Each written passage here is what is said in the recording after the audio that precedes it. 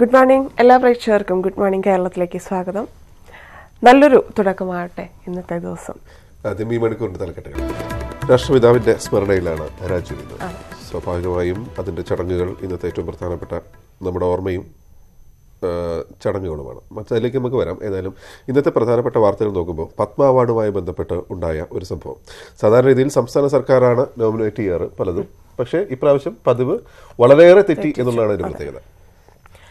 Mammootty Mohanlal M T Vasudevan Nair ഉൾപ്പെടെയുള്ളവരുടെ പേരുകളാണ് കേന്ദ്രത്തിന് നൽകിയിരുന്നത്. പക്ഷേ അതൊന്നുമല്ല പരിഗണിച്ചിരിക്കുന്നത്. പട്ടികയിൽ ഇല്ലാത്ത മൂന്ന് പേരായിരുന്നു പട്ടികയിൽ ഉണ്ടായിരുന്നത് എന്നുള്ള വാർത്തയാണ് അറിയാൻ സാധിക്കുന്നത്. രണ്ടായിരത്തി പതിനെട്ടിലെ പത്മ പുരസ്കാരങ്ങൾക്ക് നാൽപ്പത്തിരണ്ട് പേരുകളാണ് സംസ്ഥാന സർക്കാർ ശുപാർശ ചെയ്തത്. എം ടി വാസുദേവൻ നായർക്ക് പത്മവിഭൂഷൺ പുരസ്കാരം നൽകണമെന്നായിരുന്നു ശുപാർശ. മമ്മൂട്ടി മോഹൻലാൽ കവയത്രി സുഗതകുമാരി ഫിലിപ്പോസ് മാർ ക്രിസോസ്റ്റം എന്നിവർ ഉൾപ്പെടെ ആറു പേരുകളാണ് പത്മഭൂഷണ് സമർപ്പിച്ചത്. ഇതിൽ ഫിലിപ്പോസ് മാർ ക്രിസോസ്റ്റത്തിന് മാത്രമാണ് പുരസ്കാരം ലഭിച്ചത്. സൂര്യകൃഷ്ണമൂർത്തി നെടുമുടി വേണു മുൻ മന്ത്രി E Chandrasekharan Nair I M Vijayan C Radhakrishnan M K Sanu എന്നിവർ ഉൾപ്പെടെ മുപ്പത്തിയഞ്ച് പേരുടെ പട്ടികയാണ് പത്മശ്രീക്ക് നൽകിയത്. ഇതിൽ ആരുടെയും പേര് കേന്ദ്രം പരിഗണിച്ചില്ല. മന്ത്രി എ കെ ബാലൻ കൺവീനറായ പ്രത്യേക റിസർച്ച് കമ്മിറ്റിയാണ് നാമനിർദ്ദേശം സമർപ്പിച്ചത്. മന്ത്രിമാരായ Kadannappally Ramachandran Thomas Chandy Mathew T Thomas E Chandrasekharan എന്നിവർ കമ്മിറ്റി അംഗങ്ങളായിരുന്നു. ഇത്തവണ പുരസ്കാരം ലഭിച്ച P Parameswaran doctor M R Rajagopal Lakshmikuttyamma എന്നിവരുടെ പേരുകൾ സംസ്ഥാന സർക്കാർ നാമനിർദ്ദേശ പട്ടികയിൽ ഉൾപ്പെടുത്തിയിരുന്നില്ല. ഇവർക്ക് കേന്ദ്രം നേരിട്ടാണ് പുരസ്കാരങ്ങൾ നൽകിയത്. ഡോക്ടർ ബി ഇക്ബാൽ കായികതാരം ഐ എം വിജയൻ തുടങ്ങിയവരെ കഴിഞ്ഞ വർഷവും സർക്കാർ പത്മശ്രീക്ക് ശുപാർശ ചെയ്തിരുന്നു. കവയിത്രി സുഗതകുമാരിയുടെ പേര് പത്മഭൂഷണും നൽകിയിരുന്നു. സൂര്യകൃഷ്ണമൂർത്തിയെ കഴിഞ്ഞ സർക്കാരിന്റെ കാലത്തും പത്മശ്രീക്ക് ശുപാർശ ചെയ്തിരുന്നു. പൊതുപ്രവർത്തകനായ ജോമൻ പുത്തമ്പരക്കൽ നൽകിയ വിവരാവകാശ അപേക്ഷയിലാണ് സംസ്ഥാന സർക്കാരിന്റെ പട്ടിക പുറത്തുവന്നത്. Manu Bharath news eighteen Thiruvananthapuram. A K Saseendran വീണ്ടും മന്ത്രിസഭയിലേക്ക്. ശശീന്ദ്രനെ മന്ത്രിസഭയിൽ ഉൾപ്പെടുത്തണമെന്ന് ആവശ്യപ്പെട്ട് എൽ ഡി എഫിനും മുഖ്യമന്ത്രിക്കും എൻ സി പി നേതൃത്വം ഇന്ന് കത്ത് കൈമാറും. എൻ സി പി ദേശീയ അധ്യക്ഷൻ ശരത് പവാർ കേരള നേതാക്കളുമായി നടത്തിയ ചർച്ചയിലാണ് എ കെ ശശീന്ദ്രനെ മന്ത്രിയാക്കാനുള്ള തീരുമാനം കൈക്കൊണ്ടത്. ധാർമ്മികത കണക്കിലെടുത്താണ് ശശീന്ദ്രൻ മന്ത്രിസ്ഥാനം രാജിവെച്ചത്. കോടതി കുറ്റവിമുക്തനാക്കിയ സാഹചര്യത്തിൽ മന്ത്രിസ്ഥാനത്ത് അദ്ദേഹം മടങ്ങിവരട്ടെ എന്നാണ് പാർട്ടി തീരുമാനമെന്നും യോഗശേഷം കേരളത്തിന് ചുമതലയുള്ള ദേശീയ ജനറൽ സെക്രട്ടറി പ്രഫുൽ പട്ടേൽ പറഞ്ഞു. എത്രയും വേഗം മന്ത്രിസഭയിൽ ഉൾപ്പെടുത്തണമെന്ന് ആവശ്യപ്പെട്ട് എൽ ഡി എഫിനും മുഖ്യമന്ത്രിക്കും കത്ത് നൽകുമെന്നും Praful Patel. Yes the official letter of communication for mister A K Sasidharan to join the cabinet in Kerala will be issued immediately and we will inform the chief minister and the L D F leadership about our decision budget സമ്മേളനം പൂർത്തിയാകുന്നതുവരെ സത്യപ്രതിജ്ഞ നീട്ടിക്കൊണ്ടുപോകേണ്ടതില്ലെന്നാണ് N C പിയുടെ നിലപാട്. ഘടകകക്ഷികളുമായി ആലോചിച്ച് മുഖ്യമന്ത്രി ഇക്കാര്യത്തിൽ തീരുമാനമെടുത്തേക്കുമെന്നാണ് സൂചന. കേരളത്തിൽ നിന്ന് സംസ്ഥാന അധ്യക്ഷൻ ടി പി പീതാംബരം മാസ്റ്ററും എ കെ ശശീന്ദ്രനും യോഗത്തിൽ പങ്കെടുത്തപ്പോൾ Thomas Chandy യോഗത്തിനെത്തിയില്ല. News eighteen Delhi. Binoy Kodiyeri പണം തട്ടിച്ചെന്ന ആരോപണത്തിലെ പരാതിക്കാരൻ ഹസൻ അൽ മർസുഖി തിങ്കളാഴ്ച കേരളത്തിലെത്തും. തിരുവനന്തപുരം പ്രസ് ക്ലബ്ബിൽ അദ്ദേഹം മാധ്യമങ്ങളെ കാണും. Dubai Jas tourism company managing partner U A പൌരനായ Marzooqi. Binoy Kodiyeri ഉൾപ്പെട്ട വിവാദത്തിന്റെ യഥാർത്ഥ വസ്തുതകളും രേഖകളും പങ്കുവയ്ക്കാനാണ് വാർത്താ സമ്മേളനം അഭിഭാഷകനായ റാം കിഷോർ യാദവ് മുഖേനയാണ് തിരുവനന്തപുരം പ്രസ് ക്ലബിന് മർസുഖി കത്ത് നൽകിയത്. ഉത്തർപ്രദേശിലെ അഡീഷണൽ അഡ്വക്കേറ്റ് ജനറലാണ് റാം കിഷോർ യാദവ്. കുറ്റപത്രം ചോദ്യം ചെയ്തും തെളിവുകൾ ആവശ്യപ്പെട്ടും ദിലീപ് നൽകിയ ഹർജികളിൽ അങ്കമാലി മജിസ്ട്രേറ്റ് കോടതി ഇന്ന് പ്രോസിക്യൂഷന്റെ വാദം കേൾക്കും. കോടതിയുടെ പ്രതിദിന നടപടിക്രമങ്ങൾ പൂർത്തിയാക്കിയ ശേഷമാവും ദിലീപിന്റെ രണ്ട് ഹർജിന്മേലുള്ള വാദം നടക്കുക. ദിലീപിന്റെ ആവശ്യത്തെ പ്രോസിക്യൂഷൻ എതിർക്കും. ആക്രമിക്കപ്പെട്ട നടിയെ അപമാനിക്കാനാണ് ഹർജികൾ വഴി ദിലീപ് ശ്രമിക്കുന്നത് എന്നാണ് പോലീസിന്റെ നിലപാട്. സ്വകാര്യതയെ ബാധിക്കുന്നതിനാൽ ദൃശ്യങ്ങൾ നൽകാനാവില്ല എന്ന് പോലീസ് കോടതിയോട് പറഞ്ഞിരുന്നു. അനുബന്ധ കുറ്റപത്രം നിയമപരമായി നിലനിൽക്കുന്നതല്ല എന്ന് കാട്ടിയാണ് ദിലീപിന്റെ ഒരു ഹർജി.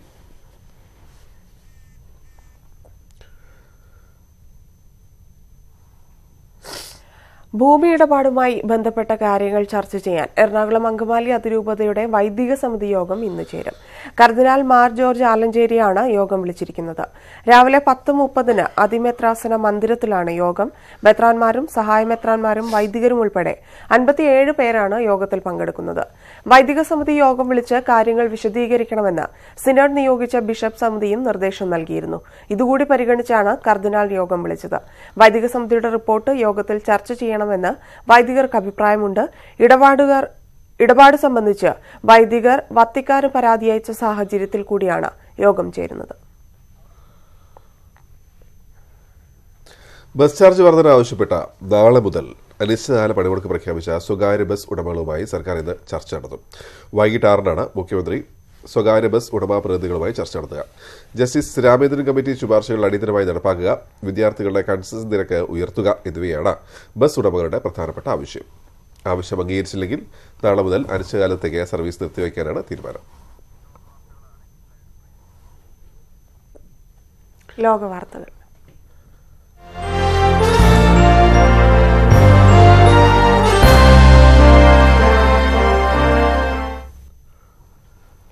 അമേരിക്കൻ അന്വേഷണ ഏജൻസിയായ ഫെഡറൽ ബ്യൂറോ ഓഫ് ഇൻവെസ്റ്റിഗേഷൻ സഹമേധാവി ആൻഡ്രൂ മെക്കബ രാജിവെച്ചു.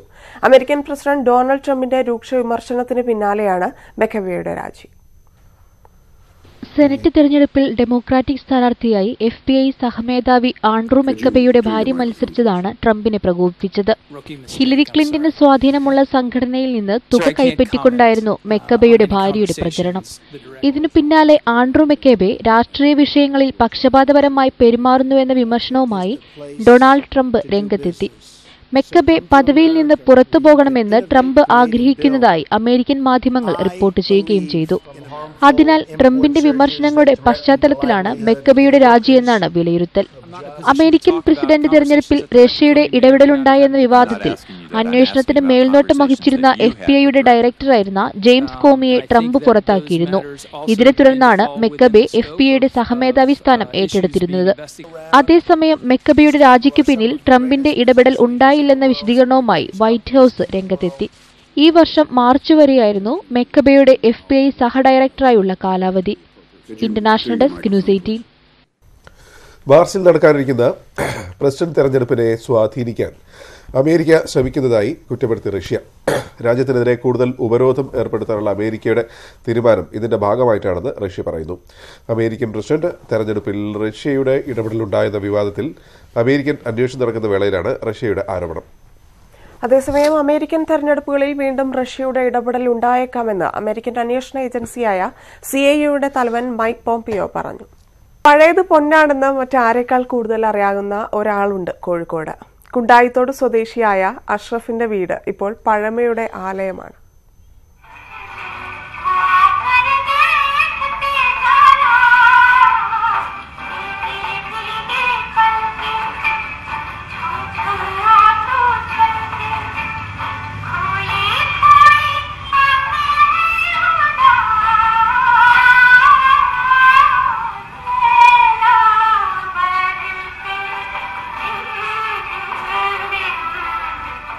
മുംബൈയിൽ നിന്നാണ് ഗ്രാമഫോണുകളുടെ വരവ്. ഏറ്റവും കൂടുതൽ ആവശ്യക്കാരുള്ളതും ഇതിനാണ്.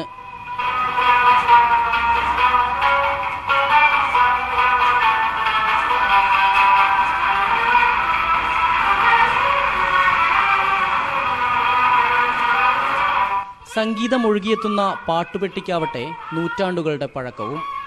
ഓടിലും പിത്തളയിലും തീർത്ത പഴമയുടെ പ്രതാപം വിളിച്ചോതുന്ന വസ്തുക്കൾ വേറെയും. നടരാജ വിഗ്രഹവും കൃഷ്ണവിഗ്രഹവും റാന്തലും ആട്ടുകട്ടിലുമെല്ലാമുണ്ട് അഷ്റഫിന്റെ പുരാവസ്തു ശേഖരത്തിൽ. നൂറ് വർഷത്തിലധികം പഴക്കമുള്ള പിയാനോയാണ് കൂട്ടത്തിലെ കേമൻ.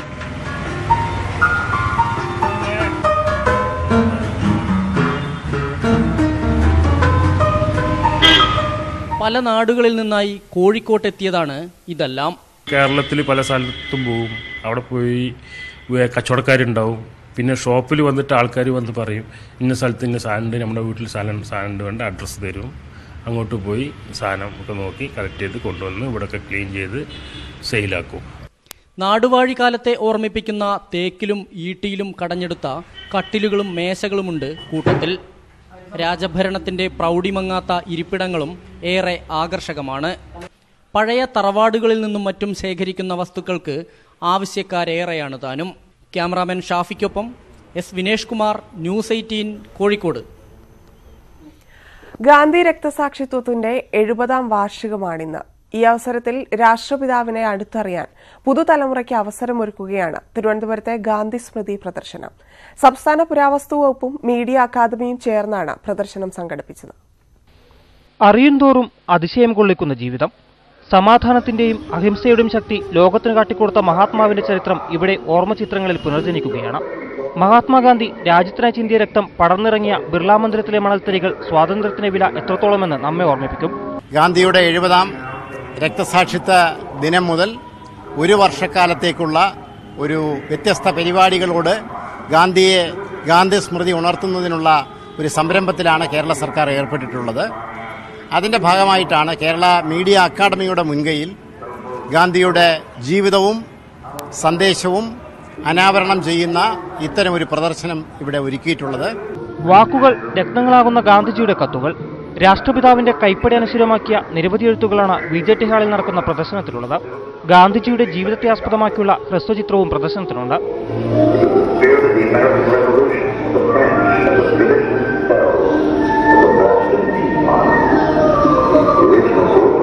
ഗാന്ധിജിയുടെ രാഷ്ട്രീയം ഉൾക്കൊള്ളുന്ന കാർട്ടൂണുകളും പ്രദർശനത്തിലുണ്ട്. News eighteen Thiruvananthapuram.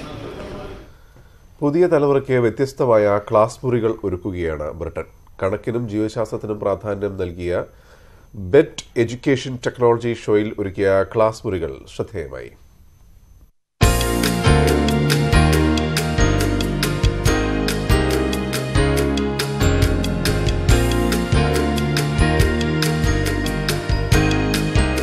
പൂർണമായും നൂതന സാങ്കേതിക വിദ്യ ഉപയോഗിച്ച് തയ്യാറാക്കിയ ക്ലാസ് മുറികൾ വിദ്യാർത്ഥികൾക്ക് കൗതുകവും പുത്തനറിവും സമ്മാനിക്കുന്നു. ഭൗതിക ലോകവും ഡിജിറ്റൽ ലോകവും തമ്മിലെ വ്യത്യാസം തിരിച്ചറിയാൻ സാധിക്കാത്ത തലമുറയെ ഫിജിറ്റൽസ് എന്നാണ് വിശേഷിപ്പിക്കുന്നത്. സാങ്കേതിക വിദ്യയിലൂടെ തന്നെ അവർക്ക് ഭൗതിക ലോകത്തെക്കുറിച്ച് പരിജ്ഞാനം നൽകുക എന്നതാണ് ലക്ഷ്യമെന്ന് സംഘാടകർ It's disrupted by technology, um, different forms of learning, computers and what have you. And if you want children to survive, you're going to have to teach them the skills to learn whatever that future is. Ultimately, the results agenda needs to change to reflect the future rather than മനുഷ്യന്റെ ആന്തരികാവയവങ്ങൾ അന്തരീക്ഷം തുടങ്ങിയവ ദൃശ്യമായി അവതരിപ്പിക്കുന്നതാണ് class മുറി.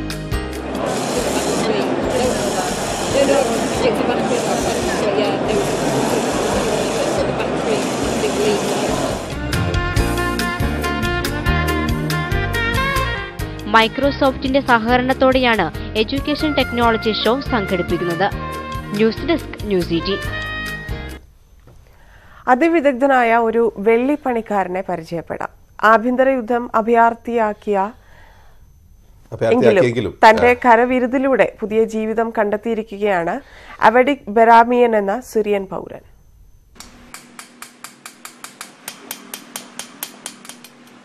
വെള്ളി കൊണ്ടുള്ള നിർമ്മാണ പണികളിൽ Armenian കരവിരുതിന്റെ പാരമ്പര്യം സ്വന്തമാക്കിയ വ്യക്തിയാണ് അവഡിക് ബൊറാമിയൻ. സിറിയയിലെ പ്രശസ്തമായ വെള്ളി നിർമ്മാണ മേഖലയിൽ നിന്നെത്തിയ അവിഡെക് ഇപ്പോൾ ഓസ്ട്രേലിയൻ ഓപ്പൺ ട്രോഫിയുടെ പണിപ്പുരയിലാണ്. യുദ്ധം കൊടുമ്പിരി കൊണ്ട സമയത്ത് സിറിയയിൽ നിന്ന് അഭയാർത്ഥിയായാണ് അവിഡിക് ഓസ്ട്രേലിയയിൽ എത്തുന്നത്. തൊഴിൽ കണ്ടെത്താൻ രണ്ടു വർഷത്തോളം പണിപ്പെട്ടു. പിന്നീട് തന്റെ കരവീടത്തിന്റെ സ്വപ്ന വഴിയിലേക്ക് എത്തിച്ചേർന്നു.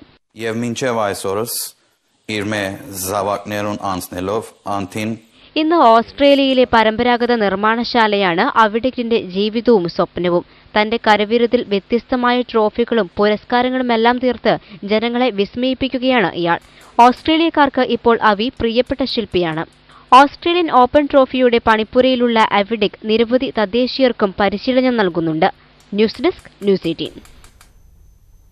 അപൂർവ രോഗം പിടിപെട്ട പിഞ്ചു കുഞ്ഞിനെ രക്ഷിക്കാൻ ഒറ്റക്കെട്ടായി രംഗത്തിറങ്ങി ഒരു ഗ്രാമം.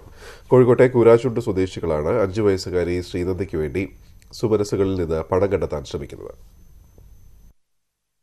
ഒരു ദിവസത്തെ വേതനം തരൂ ഒരു പിഞ്ചു കുഞ്ഞിന്റെ ജീവൻ രക്ഷിക്കൂ എന്ന് പറഞ്ഞ് ചിലർ നിങ്ങളെയും തേടിയെത്തിയേക്കാം. മനസ്സറിഞ്ഞ് സഹായിക്കുക. കോഴിക്കോട് കൂരാച്ചുണ്ട് ഗ്രാമപഞ്ചായത്തിലെ പുത്തൂർ കോളനി നിവാസിയായ മീത്തൽ ശശിയുടെ നാലു വയസ്സുള്ള മകൾ ശ്രീനന്ദയുടെ ജീവൻ രക്ഷിക്കാൻ വേണ്ടിയാണ് ഈ അഭ്യർത്ഥന.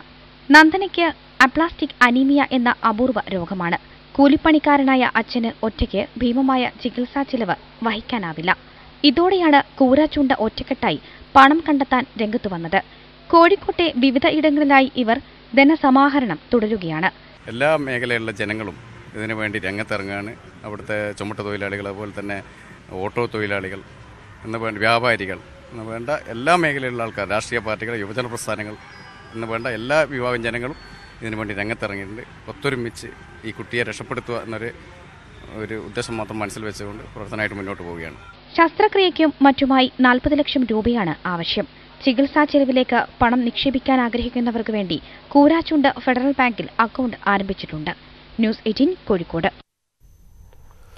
സംസ്ഥാന ബജറ്റിൽ ഹാർബർ നിർമ്മാണത്തിനായി പണം അനുവദിക്കുമെന്ന പ്രതീക്ഷയിലാണ് ആലപ്പുഴ ചെത്തിക്കടപ്പുറത്തെ മത്സ്യത്തൊഴിലാളികൾ.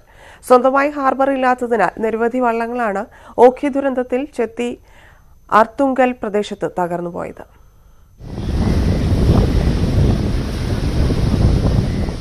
ആഴക്കടൽ മത്സ്യബന്ധനത്തിന് പോകുന്ന തൊഴിലാളികൾക്ക് കരപറ്റാനോ സുരക്ഷിതമായി മത്സ്യബന്ധന ഉപകരണങ്ങൾ സൂക്ഷിക്കാനോ കൊച്ചിക്കും തോട്ടപ്പള്ളിക്കുമിടയിൽ ഹാർബർ ഇല്ല. നിരവധി കാലങ്ങളായുള്ള മത്സ്യത്തൊഴിലാളികളുടെ ആവശ്യമാണ് ചെത്തിയിൽ പണി പൂർത്തിയാകാത്ത ഹാർബർ പ്രവർത്തന സജ്ജമാക്കണമെന്നത്. കൊച്ചി കഴിഞ്ഞാൽ പിന്നെ അഴീക്കലിനുള്ളിൽ സുരക്ഷിതമായി മത്സ്യത്തൊഴിലാളികൾക്ക് വള്ളങ്ങൾ കയറ്റിയിടാൻ പിന്നെ ഉള്ള ഒരു സൗകര്യം നമുക്കിപ്പോൾ നിലവിലില്ല. ഈ കഴിഞ്ഞ ദിവസങ്ങളിലും മനക്കോടം വഴിയിൽ മാത്രമാണ് കുറച്ച് വള്ളങ്ങൾ കയറ്റിയിട്ടത്. എന്നാൽ സുരക്ഷിത സ്ഥാനങ്ങൾ കണ്ടെത്തി ഇതിന്റെ വർക്കുകൾ നടന്നുകൊണ്ടിരിക്കുന്ന മേഖലകൾ ഹാർബറിന്റെ പണി നടന്നുകൊണ്ടിരിക്കുന്ന മേഖല ഇപ്പോൾ ചെത്തി അർത്തിങ്കൽ തുടങ്ങിയ ഹാർബറുകൾ. അതിന്റെ വർക്കുകൾ പൂർത്തിയായി കഴിഞ്ഞെന്നാൽ ഇതുപോലെ ഈ ഇപ്പൊ ഇപ്പോൾ സംഭവിച്ചുകൊണ്ടിരിക്കുന്ന ഈ നാശനഷ്ടങ്ങൾ ദുരന്തങ്ങൾ ഒഴിവാക്കാൻ സാധിക്കും. വി എസ് അച്യുതാനന്ദൻ സർക്കാരിന്റെ കാലത്ത് പണി ആരംഭിച്ച പദ്ധതി യാഥാർത്ഥ്യമായില്ല. ഫിഷ് ലാൻഡിംഗ് സെന്ററും പുലിമുട്ടും നിർമ്മിച്ച് ഹാർബറിന്റെ അഴിമുഖം വികസിപ്പിക്കണമെന്ന ആവശ്യവുമുണ്ട്. നിലവിൽ എൻബോർഡ് വള്ളങ്ങൾ കൊച്ചി ഹാർബറിൽ കയറ്റിയിട്ടാണ് ആലപ്പുഴയിലെ മത്സ്യത്തൊഴിലാളികൾ പണിയെടുക്കുന്നത്. തൊഴിലിടവും തൊഴിലുപകരണങ്ങളും സംരക്ഷിക്കപ്പെടണമെന്ന അടിസ്ഥാന ആവശ്യമാണ് സർക്കാരിന് മുന്നിലേക്ക് ഈ മത്സ്യത്തൊഴിലാളികൾ വെക്കുന്നത്. വരുന്ന ബജറ്റിൽ ചെത്തി ഹാർബർ പ്രവർത്തന സജ്ജമാക്കുന്നതിനുള്ള നടപടി ഉണ്ടാകുമെന്ന് തന്നെ ഇവർ പ്രതീക്ഷിക്കുന്നു. ആലപ്പുഴയിൽ നിന്നും ക്യാമറമാൻ പി കെ പ്രശാന്തിനൊപ്പം ശരണ്യ സ്നേഹജൻ ന്യൂസ് എയ്റ്റീൻ. ആരെ കണ്ടാലും കള്ളിച്ചെല്ലമ്മയിൽ അഭിനയിച്ചതിന്റെ വിശേഷങ്ങൾ മാത്രമാണ് തങ്കമ്മയ്ക്ക് പറയാനുണ്ടായിരുന്നത്. എന്നാൽ ഇപ്പോൾ ആറു മക്കളും ഉപേക്ഷിച്ച ഈ അമ്മയെ വാർദ്ധക്യത്തിന്റെ അവശതകൾ പിടികൂടി കഴിഞ്ഞു. വെങ്ങാനൂർ മുട്ടക്കാട് കൃപാതീരം അഗതി മന്ദിരത്തിൽ ജീവിതം തള്ളി നീക്കുകയാണ് തങ്കമ്മ. ആയിരത്തി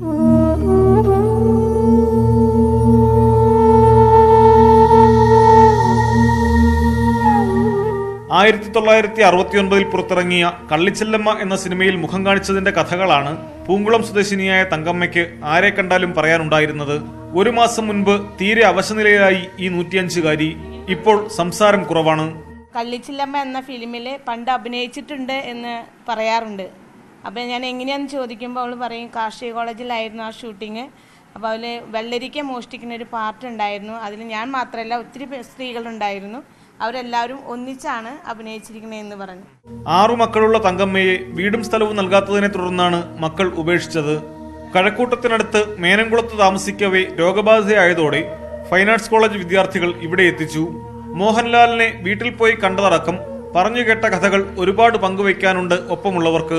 മോഹൻലാലിന്റെ വീട്ടിൽ പോയി തുണിയൊക്കെ കൊണ്ടുവന്ന് അറിയാം. അപ്പം എപ്പോഴും പറയും മോഹൻലാലിന്റെ അവിടെ മറ്റുള്ളവരുടെ ഒക്കെ അടുത്ത് വീടുകളിൽ പോയാൽ ആരും ഒന്നും തരത്തില്ല. മമ്മൂട്ടി അമ്പത് രൂപ കൊടുക്കും. പിന്നെ സുരേഷ് ഗോപി അമ്പത് രൂപ കൊടുക്കും എല്ലാവരും. ഇതാണ് അവർക്ക് ഏറ്റവും കിട്ടുന്നത്. മോഹൻലാലിനെ ഒരിക്കൽ കൂടി കാണണമെന്ന ആഗ്രഹം പലരോടും പറഞ്ഞിരുന്നു. തിരുവല്ലം ക്രൈസ്റ്റ് നഗർ സ്കൂൾ വിദ്യാർത്ഥികൾ സമൂഹമാധ്യമങ്ങളിലൂടെ ഇതിനായി ശ്രമം നടത്തിയെങ്കിലും വിജയിച്ചില്ല. News eighteen Thiruvananthapuram. Ernakulam Subhash park ശില്പകലയുടെ സൗന്ദര്യം വീണ്ടെടുക്കുകയാണ്. ആയിരത്തി തൊള്ളായിരത്തി തൊണ്ണൂറിൽ പാർക്കിൽ നടന്ന ശില്പകലാ ക്യാമ്പിലെ ശില്പങ്ങളാണ് പുനർനിർമ്മിക്കുന്നത്. പഴയ ക്യാമ്പിൽ പങ്കെടുത്ത ഏഴ് ശില്പികൾ പുനർനിർമ്മാണത്തിലും പങ്കാളികളാണ്.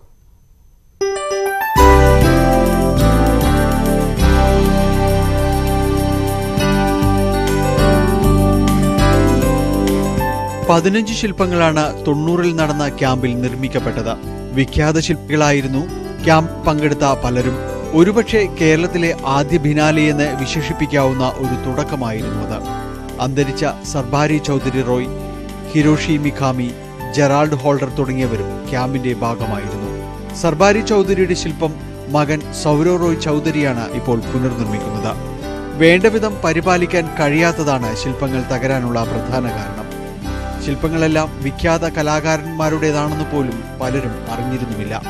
പുനർനിർമ്മാണം പൂർത്തിയാകുന്നതോടെ ഈ പരാതികൾ പരിഹരിക്കപ്പെടുമെന്ന് മേയർ സൗമിനി ജീൻ പറഞ്ഞു.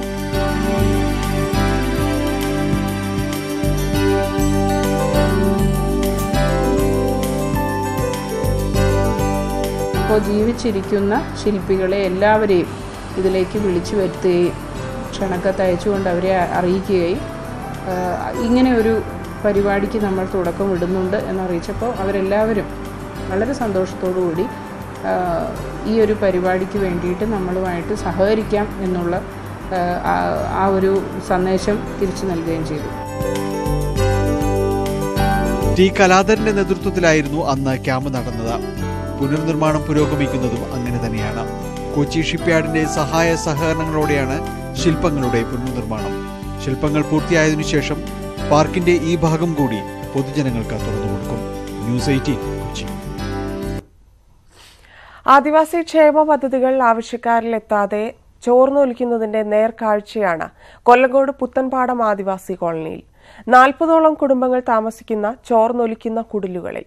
പനയോലകളാൽ മേഞ്ഞ കുടിലുകളിലെത്താൻ വഴിയുമില്ല.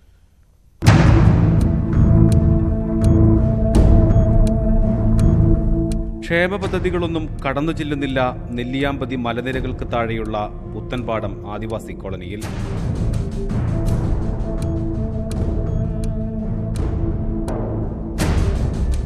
ദൈവങ്ങളുടെ ചിത്രങ്ങൾക്കൊപ്പം ചുമരിൽ ഇ എം എസിനെയും ആരാധനയോടെ സൂക്ഷിക്കുന്നവർ സി പി എമ്മിന്റെ ശക്തി കേന്ദ്രമാണ് എന്നാൽ വർഷങ്ങളായുള്ള ദുരിതം കുറയുന്നില്ല.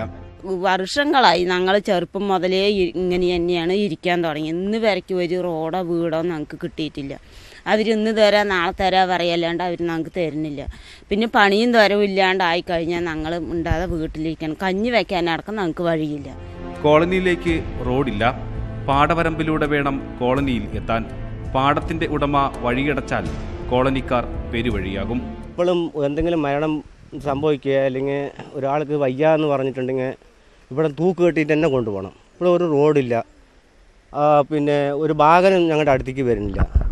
ആയില്ലേ? അപ്പോൾ ഈ മഴയും ഇതൊക്കെ ആയിക്കഴിഞ്ഞാൽ വീടുകളും വളരെ മോശത്തിലാണ്. കുട്ടികൾക്ക് പഠിക്കാനുള്ള സൗകര്യവും കുറവ്.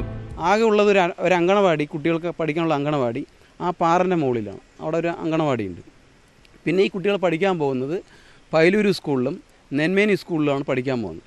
അത് ഈ പറഞ്ഞ പോലെ മാനസികമായിട്ട് കുട്ടികൾക്കൊരു ഉന്മേഷം വേണ്ട? പഠിക്കാൻ പോകണമെന്നൊരു ഉന്മേഷം വരാത്ത എന്താ കാരണം? അത് ഇവരുടെ യാത്രാ സൗകര്യം വളരെ മോശമായതുകൊണ്ടാണ് തെരഞ്ഞെടുപ്പ് കാലത്തല്ലാതെ ആരും ഇങ്ങോട്ട് തിരിഞ്ഞു നോക്കാറില്ലെന്നാണ് കോളനിക്കാർ പറയുന്നത്. തീർത്തും ഒറ്റപ്പെട്ട് കിടക്കുന്ന ഈ കോളനിയിലെ അടിസ്ഥാന പ്രശ്നങ്ങളൊന്നും തന്നെ ഇതുവരെയും പരിഹരിക്കപ്പെട്ടിട്ടില്ല. ആദിവാസി ക്ഷേമത്തിനായി കോടികൾ ചെലവഴിക്കുമ്പോഴാണ് ഈ ദുരിതം. Cameraman K M പ്രയത്തിനൊപ്പം Prasad Udumbissery news eighteen Palakkad. Drone ഉപയോഗിച്ച് പാടശേഖരങ്ങളിൽ മരുന്നു തളിക്കാൻ സംവിധാനവുമായി കൃഷിവകുപ്പ്. കോട്ടയത്തെ മെത്രാൻകായലിലായിരുന്നു ആദ്യ പരീക്ഷണം. പാടശേഖരങ്ങളിൽ അമ്ലത്വം കൂടിയതിനാൽ തൊഴിലാളികളെ കിട്ടാതായതോടെയാണ് വകുപ്പിന്റെ പുതിയ പരീക്ഷണം. അപ്പർ കുട്ടനാടൻ മേഖലയിലെ പാടശേഖരങ്ങളിൽ അമ്ലത്വം കൂടിയതോടെ മണ്ണിൽ ഇരുമ്പിന്റെ അംശവും കൂടി. നാനൂറ് ഏക്കർ വരുന്ന കോട്ടയം മെത്രാങ്കായൽ പാടശേഖരത്തെ അറുപത്തിയഞ്ച് ദിവസമായ നെൽച്ചെടികളുടെ വേര് ചെയ്യാനും തുടങ്ങിയതോടെയാണ് മരുന്ന് തളിക്കാൻ തീരുമാനിച്ചത്. പക്ഷേ ആവശ്യത്തിന് തൊഴിലാളികളെ കിട്ടിയില്ല. ഇതോടെയാണ് ബംഗളൂരുവിൽ നിന്ന് ഡ്രോൺ സംവിധാനം എത്തിക്കുവാൻ കൃഷിവകുപ്പ് തീരുമാനിച്ചത്.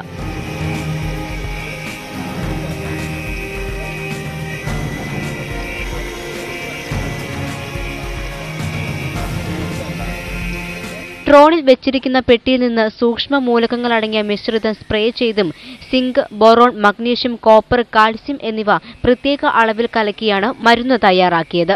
മങ്കൊമ്പ് കെ സി പി എമ്മിന് ഇത് പ്രദർശനാടിസ്ഥാനത്തിൽ ചെയ്യുന്നതിന് ഒരു പദ്ധതിയുണ്ട്. അതനുസരിച്ച് അവരുടെ ഫണ്ട് ഉപയോഗിച്ചാണ് നമ്മളിത് ആദ്യമായിട്ടാണ്. നമ്മുടെ കേരള സംസ്ഥാനത്ത് തന്നെ ആദ്യമായിട്ടാണ് ഇങ്ങനെ ഡ്രോൺ ഉപയോഗിച്ച് നടത്തുന്നത്. അപ്പോൾ നമ്മളിതൊരു പ്രദർശനാടിസ്ഥാനത്തിലും അതുപോലെ തന്നെ പരീക്ഷണാടിസ്ഥാനത്തിലുമാണ് ഇത് നടത്തുന്നത്. മാങ്കൊമ്പിലെ കൃഷി വിജ്ഞാൻ കേന്ദ്രത്തിന്റെ കീടനിയന്ത്രണ വിഭാഗത്തിന്റെ നേതൃത്വത്തിലായിരുന്നു ഡ്രോണുകൾ ഉപയോഗിച്ചുള്ള മരുന്ന് തളിക്കൽ പരീക്ഷണം. News eighteen Kottayam. Areekode Sullamussalam oriental higher secondary സ്കൂളിലെ വിദ്യാർത്ഥികളുടെ നേതൃത്വത്തിൽ നടത്തിയ നെൽകൃഷിയുടെ വിളവെടുപ്പ് നടന്നു. കൊയ്ത്തുത്സവം മന്ത്രി വി എസ് സുൽകുമാർ ഉദ്ഘാടനം ചെയ്തു. സുല്ലമുസലാം ഓറിയന്റൽ ഹയർ സെക്കൻഡറി സ്കൂളിലെ എൻ എസ് എസ് യൂണിറ്റിന്റെ നേതൃത്വത്തിൽ എന്റെ ഗ്രാമം പദ്ധതിയുമായി സഹകരിച്ചാണ് നെൽകൃഷി ഇറക്കിയത്. യുവ കർഷകനായ നൌഷദ് കല്ലടയാണ് ഈ പദ്ധതിക്ക് ആവശ്യമായ വയൽ സൗജന്യമായി നൽകിയത്. ഐശ്വര്യ എന്ന മുന്തിയ ഇനം വിത്താണ് കൃഷിക്ക് ഉപയോഗിച്ചത്. പഠനശേഷമുള്ള സമയവും അവധി ദിവസങ്ങളിലുമായിരുന്നു കൃഷി പരിപാലനം. തികച്ചും ജൈവ രീതിയിലായിരുന്നു കൃഷി. മന്ത്രി വി എസ് സുനിൽകുമാർ കൊയ്ത്തുത്സവം ഉദ്ഘാടനം ചെയ്തു. തരിച്ചിടാൻ കഴിയില്ല. ഏതെങ്കിലും കൃഷിഭൂമി തരിച്ചിട്ടുണ്ടെങ്കിൽ ആ ഉടമസ്ഥന് നോട്ടീസ് കൊടുക്കും. ആ നോട്ടീസ് കൊടുത്ത് പതിനഞ്ച് ദിവസത്തിനകത്ത് ഉടമസ്ഥൻ കൃഷി ചെയ്യാൻ തയ്യാറായില്ലെങ്കിൽ ആ കൃഷിഭൂമി ഗവൺമെന്റ് ഏറ്റെടുത്ത് ഉടമസ്ഥാവകാശം ഏറ്റെടുക്കില്ല. കൃഷി ചെയ്യാൻ ഉടമസ്ഥാവ അവകാശം ഏറ്റെടുത്തുകൊണ്ട് കൃഷി ചെയ്യാൻ താല്പര്യമുള്ള സന്നദ്ധ സംഘടനകളെ കൃഷിക്കാരെ അല്ലെങ്കിൽ കുടുംബശ്രീയെ അല്ലെങ്കിൽ ഇതുപോലെ സ്കൂളുകളെ ഏൽപ്പിച്ചു കൊടുക്കാൻ കഴിയുന്ന നിയമം ഓർഡിനൻസായി പുറപ്പെടുവിക്കുകയാണ് ഞാൻ നിങ്ങളെ സന്തോഷത്തോടുകൂടി അറിയിക്കുകയാണ് കുട്ടിക്കർഷകരുടെ വിളവെടുപ്പ് ഉത്സവം വെള്ളേരി ചാലിപ്പാടം ഗ്രാമം ഒന്നടങ്കം ഏറ്റെടുക്കുകയായിരുന്നു. പഞ്ചായത്ത് അധികൃതരും കൊയ്ത്തുത്സവത്തിൽ പങ്കെടുത്തു. News eighteen Kondotty. കൃഷിക്കായി വാട്സാപ്പ് കൂട്ടായ്മ തുടങ്ങി മലപ്പുറം ചെമ്മക്കടവ് കോങ്കയത്തെ യുവാക്കൾ. പുതുതലമുറയെ കൃഷിയിലേക്ക് ആകർഷിക്കുകയാണ് കൂട്ടായ്മയുടെ ലക്ഷ്യം. പഴയ തലമുറയുടെ പിന്തുണയും കൂട്ടായ്മയ്ക്കുണ്ട്. യുവാക്കൾ സാമൂഹ്യമാധ്യമങ്ങളിൽ മുങ്ങിപ്പോകുന്നത് ശ്രദ്ധയിൽപ്പെട്ടതിനെ തുടർന്നാണ് കോങ്കയം കൂട്ടായ്മ എന്ന ആശയമുണ്ടാകുന്നത്. തുടർന്ന് വാട്സാപ്പിൽ ഗ്രൂപ്പ് തുടങ്ങി. കൃഷിയെ പരിചയപ്പെടുത്തുക എന്നതാണ് കൂട്ടായ്മയുടെ ലക്ഷ്യം. ശ്രമത്തിന് പിന്തുണയുമായി പഴയ തലമുറയും രംഗത്തു വന്നു. കൃഷിക്കായി മഹല്ല് കമ്മിറ്റി ഒരേക്കറിലധികം സ്ഥലവും നൽകി. പിന്നീട് പ്രദേശവാസികളുടെ സഹായത്തോടെ ജൈവ കൃഷിയും തുടങ്ങി. മഞ്ഞൾ ഇഞ്ചി മത്തൻ ചുരക്ക ചീര വെണ്ട പയർ എന്നിവയാണ് കൃഷി ചെയ്തത്. കൃഷി വിജയമായതോടെ ആധുനിക രീതിയിൽ ശീതകാല പച്ചക്കറികളും കൂട്ടായ്മയുടെ നേതൃത്വത്തിൽ ഒരുക്കി. വിപണി വിലയേക്കാൾ കുറവിലാണ് ഈ പച്ചക്കറികൾ ഇപ്പോൾ വീടുതോറും എത്തുന്നത്. ഇതിനായി പള്ളിയോട് ചേർന്ന് ഒരു വിപണന കേന്ദ്രവും ഒരുക്കിയിട്ടുണ്ട്. നമ്മളെ നാട്ടിലെ കുട്ടികളെ കൂട്ടായ്മ അവിടെ ഒത്തുകൂടിയിട്ട് ഇവിടുന്ന് കൃഷി വിളവെടുത്ത് അത് എല്ലാ കുടുംബങ്ങൾക്കും ഈ കൃഷി ഉൽപ്പന്നങ്ങൾ എത്തിച്ചു കൊടുക്കുക. അതിലുപരി നെക്സ്റ്റ് ജനറേഷൻ വരുന്ന ജനറേഷന് ഒരു ആരോഗ്യപ്രദമായ രീതിയിൽ ഈ ഭക്ഷണം കൊടുക്കുക. അത് വിഷരഹിത പച്ചക്കറിയാണ് ഞങ്ങളെ മുദ്രാവാക്യം. അതുകൂടാതെ ഇതിന്റെ കീഴിൽ ഇനി ഇതിന്റെ ലോഞ്ചിങ് കഴിഞ്ഞിട്ട് ജീവകാരുണ്യ പ്രവർത്തനങ്ങളും മറ്റു കാര്യങ്ങളൊക്കെ മുന്നോട്ട് പോകുന്നുണ്ട്. യുവാക്കൾക്ക് കൃഷിയോടുള്ള സ്നേഹം മനസ്സിലാക്കി കൂടുതൽ പേർ ഭൂമി കൃഷിക്കായി വിട്ടുനൽകാൻ തയ്യാറായിരിക്കുകയാണ്. ഇതോടെ എല്ലാവരെയും ഉൾപ്പെടുത്തി കൃഷി നാടാകെ വ്യാപിപ്പിക്കാനാണ് ഇവരുടെ തീരുമാനം. News eighteen Malappuram.